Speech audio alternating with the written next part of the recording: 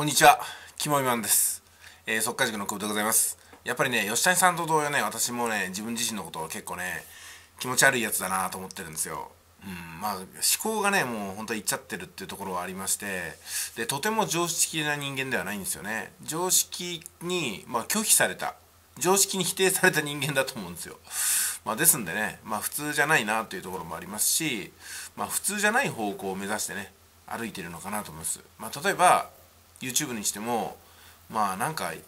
やみくもですよねもう完全に。もうあらゆる切り口を動画にしようと思っていると。自分の楽しいことも悲しいことも全てね動画にしようと思っていると。でおそらくですね私はね何回か、うん、大切な人がね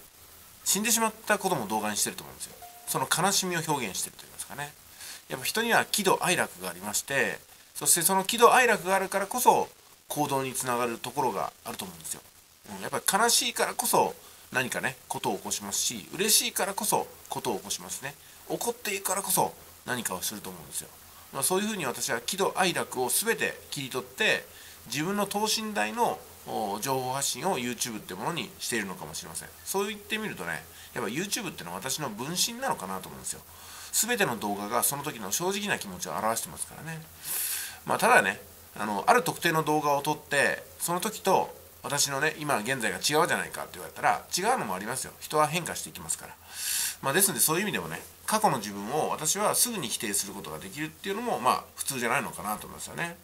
まあ、人はね過去に縛られて現在の感情を決めてしまうところもあります。今までこっちの方向に進んできたから今更変えられんみたいなね。そんないわゆるね頑固みたいな気持ちもあると思いますけども私はすぐに自己否定することができます。今まで10年間こっちの方向で進んできたけどもあれ？違うなと思ったから急にね反対方向に行ったとかね、うん、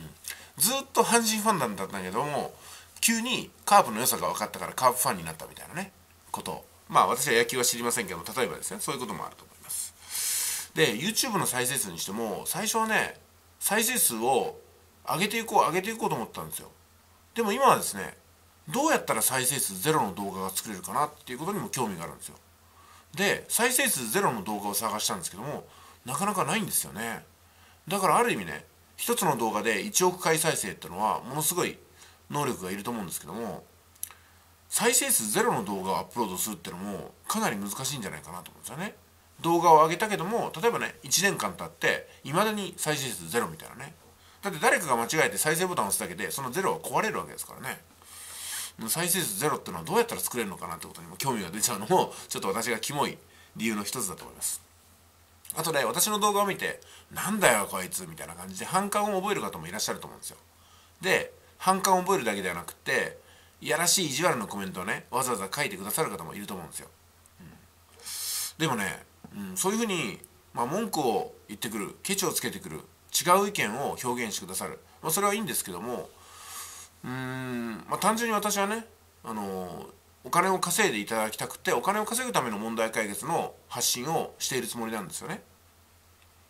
で私自身はお金の問題をある程度解決できたんでこういうことをやってられますけども、うん、まあ私と意見が違う方とか私にね、えー、ケチをつける方っていうのは、まあ、少なくとも私よりも稼いでいてほしいなと思います。うん、でそうするとその通りでございますっていうふうに謝ることが素直にできるんですよね。でもことお金を稼ぐことに関して稼げてないし稼ぐための行動を少なくとも私よりしてない人が私にケチをつけてきても、うん、ちょっとね的外れと言いますかね、うんまあ、そういう意見もあるよねってことでなかなかね納得には至らないところがあるんですよね。まあ、ですんでね、うんまあ、私よりお金を稼いでる方っていうのは基本的に私の動画見ないと思いますけども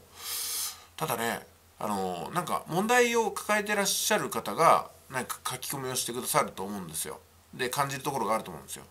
まあ、ですんでどんな人の考えも私は軽視することがないかなと思います。うん、非常に大事なねことを伝えてくれてるんだろうなと思うんですよ。うん、さあいろいろとキモいキモいと申し上げましたけども私がね一番何がキモいかっていうとお腹が痛くなるんですよね。例えばね車走ってて渋滞にはまるとお腹痛くなるんですよ。で電車に、まあ、最近は電車乗らないですけども電車に乗っているとなんかねトイレのついている車両の近くじゃないとお腹痛くなるんですよ。不思議ですよね。で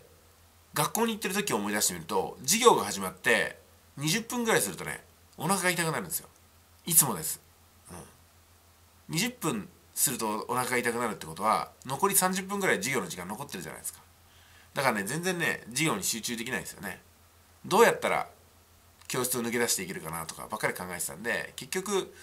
授業にあんまり出なくなっちゃったっていうのがね 私のドロップアウトのスタートなんですよ。であとは就職する時期になってもあの自由にトイレに行ける仕事じゃないと私はねダメだなと思ってたんですよ、うん、少なくとも自由にトイレに行ける仕事ね。だから2時間の会議とかで缶詰っていうのは私はねすごく苦痛だったですよね。で前の日から食事を抜くみたいなことしないと心配でしょうがなかったんですよ。で心配すると余計にお腹がチクチクいたんでやっぱりダメでしたね。ということでもう残された選択肢としては自分で自分のライフスタイルに合った環境とか仕事をまあ作っていくってことになっちゃったんで今に至るんですよ。今はねこうやって動画を撮っていましても途中でね急にお腹が痛くなっても動画を止めていくことができますんで非常にね自分に合ってるかなと思います、うん、であとはスライドショーですよね。まあ今もねスライドショー作ってるんですよ。YouTube の稼ぎ方とかね。それから FX の稼ぎ方とかね。月収100万から500万稼ぐための FX の講座とかこういうのをね速稼塾の中で展開してるわけなんですけどね。で YouTube に関しましては月収100万円を狙う YouTube の作り方とかね。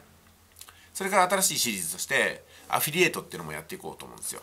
でこういったスライドショーが自分の一日のうちいつ作ってもいいしいつリリースしてもいいしって感じで縛りが非常にないんですよね。でしかもその講座を見た人は結果がね得やすくなるということで人の役にも立てるかなってところなんですよ、まあ、そういうこといろいろ考えてるとキモいからこそキモい生活ができてるのかなと思いましてまあ泳ぎやすい水で泳いでる魚みたいなもんですね私たちはね。で泳いでいるとまあお互いキモいね苦った濁った水の中でまあ、吉谷さんと出会ったのかなというところでございます。これからもね同じ流れの中を。まあ、ある時は似通ってある時は、まあ、違う水の色をね泳いでいきたいと思います。キモいですねこんな表現するのも。まあ今回の動画何言ってるのか全くわからなくなりましたね。はい。これもキモいんですよ。普通でしたらね普通の人でしたらこんな動画アップしないですよね。でもアップするんですよ。キモいですから。はい。これからもキモい放送億万長者合宿リメンバーよろしくお願いします。それでは失礼します。